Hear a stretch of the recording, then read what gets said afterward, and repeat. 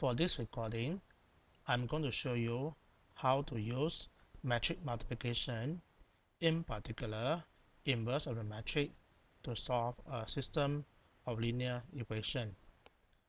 We're going to solve the equation x minus y minus z equal to minus 1, 3x plus 2y plus z equal to 4, minus 3x plus 2y plus 2z equal to 3. And actually, this question is related to part A where we find the inverse of the matrix 1 minus 1 minus 1, 3, 2, 1, minus 3, 2, 2. The reason is because the system of linear equation can be written in a matrix form. Let's see how it looks like. This system can be written as a matrix A x times B, where A is 1 minus 1 minus 1, 3, 2, 1 minus 3, 2, 2 is A and the X in this case X Y Z as a column is minus B is minus 1 4 3 now to solve X here or X Y Z here from AX equal to B multiply both sides by inverse of A. So X equal A inverse times B. Now from part A we already find out what is inverse of A of A eh, is minus 2, 0, minus 1, 9, 1, 4, minus 12, minus 1, minus 5. So multiply with B, which is minus 1, 4, 3. After calculation, I get minus 1, 7, minus 7. I want to show you how to use Casio fx9860 to find the vector x. So I'm going to look at this equation again.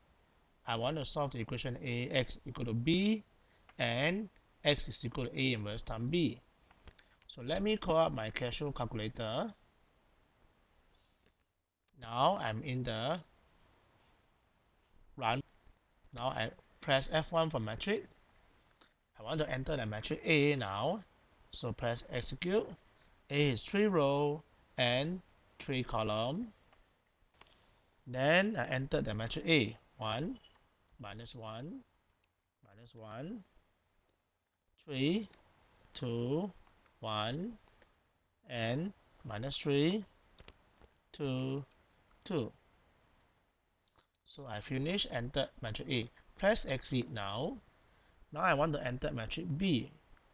So move down and press EXE. Matrix B has 3 rows and 1 column press exe again.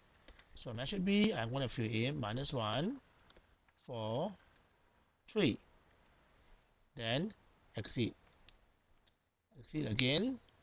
I want to do some matrix calculation now. I'm going to press option F2 for matrix here. Matrix 1 F1 for matrix now. Matrix alpha A I want to find the inverse, I can do power bracket minus 1 and then multiply by matrix B. So I press F1 matrix alpha B. Press execute. Now I got the answer minus 1, 7, minus 7 as I computed earlier. Thanks for watching the video. Have a nice day.